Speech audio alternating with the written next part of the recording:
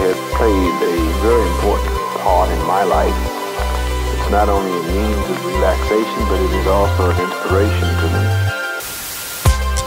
It can make me cry, make me laugh, and much of the creative energy of mankind has been devoted to music and the other arts.